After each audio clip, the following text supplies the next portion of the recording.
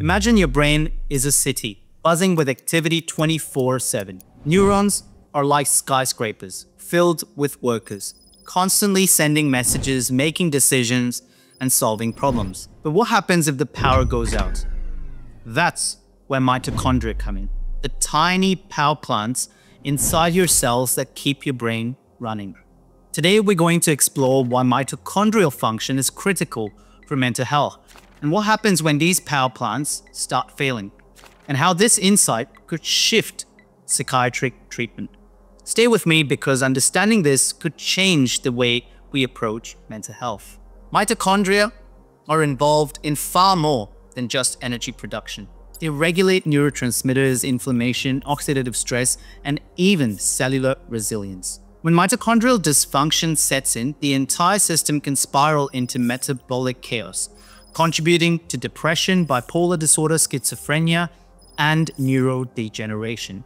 And this is where we enter into the field of metabolic psychiatry. Note that metabolic psychiatry, however, does not just narrow itself down to mitochondria, because mitochondria are linked to a range of other processes oxidative stress, inflammation, neuroinflammation, neurotransmitters, etc. The real question is are we addressing psychiatric disorders broadly? And have we looked at the molecular level? Welcome to Psychiatry Simplified. I'm Dr. Sanil Rege, consultant psychiatrist. So let's explore the link between mitochondria and mental health. Think of your brain as a high-tech metropolis and mitochondria as a power plant fueling everything. So when the power grid is strong, lights stay on, transportation runs smoothly, and businesses thrive. This is a well-functioning brain. But if power plants break down, outages occur, some areas might flicker. Think about it as brain fog. Others shut down entirely. Fatigue, psychomotor slowing, and emergency systems kick in. The inflammatory response, sometimes causing more harm than good. Mitochondrial dysfunction is like the rolling blackouts in the brain. Energy production drops, stress builds up, and critical operations start failing. This helps explain to a certain extent why many psychiatric disorders involve low energy, cognitive slowing, and neuroinflammation at its core. So let's explore some of the scientific mechanisms of how mitochondria affect mental health. First, energy production. So think about it as keeping the lights on. Mitochondria generate ATP, the currency of cellular energy. And we know in conditions like bipolar disorder and depression, ATP production is often impaired, which can lead to fatigue, low motivation, and cognitive slowing. 2. Neurotransmitter regulation. Think about this as the traffic control and supply chain management. Mitochondria influence the synthesis and regulation of serotonin, dopamine, and glutamate. Mitochondria themselves have receptors for neurotransmitters. Dysfunction of these neurotransmitters can contribute to mood instability, cognitive deficits, and altered stress responses. Third, oxidative stress. Think about this as pollution and fire hazards. Now, mitochondria generate reactive oxygen species, what we call ROS or ROS, as a natural byproduct. However, when overwhelmed, reactive oxygen species, ROS, damage DNA, lipids, and proteins, leading to neurodegeneration and worsening psychiatric symptoms. And finally, calcium regulation. Think of these as emergency systems and traffic lights. So mitochondria regulate intracellular calcium, which is essential for neuronal signaling. Dysregulation can result in excitotoxicity, neuroinflammation, and disrupted synaptic plasticity.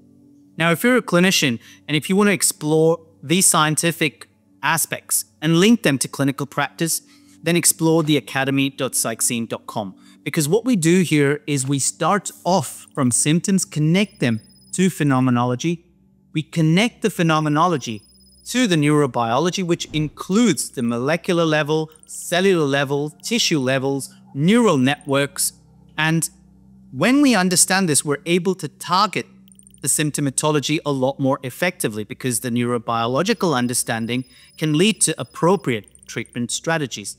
Now, there are cases where we don't exactly know what's happening at the molecular level, but we can certainly address the higher up neural network level. And note here, the neural network level is bidirectionally related to lower levels of tissue systems, cellular systems, and molecular systems. So top-down modulation can improve mitochondrial health as well. So what happens when these power plants fail and we connect the symptomatology to the specific psychiatric disorders? For example, in depression, reduced ATP levels can contribute to fatigue, anhedonia, and impaired neurogenesis. In bipolar disorder, mitochondrial instability may underlie the mood cycling and cognitive shifts.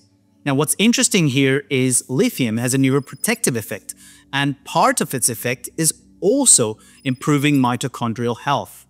In schizophrenia, impaired mitochondrial function disrupts dopamine regulation and cognitive processing.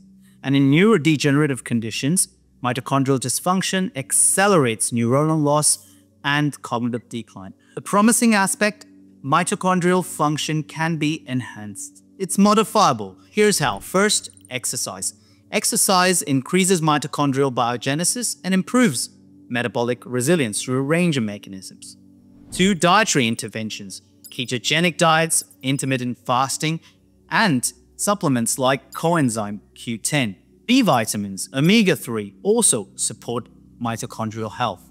Third, medications and supplements. Lithium, creatine, acetyl L-carnitine, and antioxidants like NAC have mitochondrial benefits. You can explore NAC, for example, in a lot more detail through the playlist here.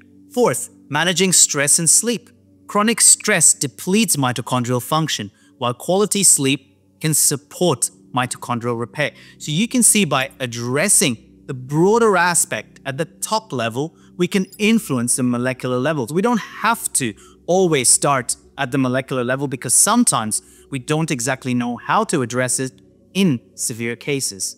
And to give you a clinical example, this is what we see in conditions such as ME/CFS or long COVID, where a severe fatigue, brain fog is present, where the individual also has pain.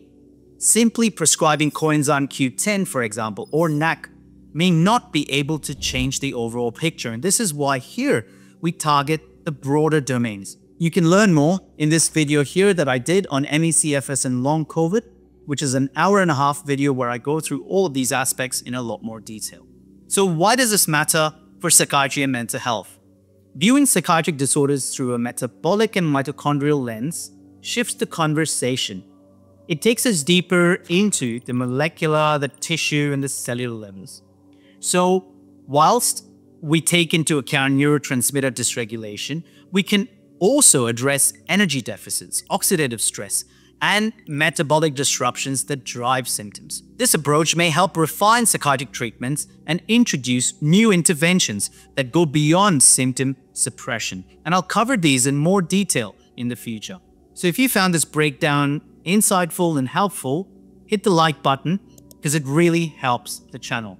And subscribe for more deeper exploration into the neuroscience of mental health. If you've got questions or comments, drop them in the comment section below. I always love reading your thoughts. And if you're curious about the link between metabolism and psychiatry, check out our video on N-acetylcysteine here. I look forward to seeing you all in another video soon. Until then, stay curious. Bye-bye.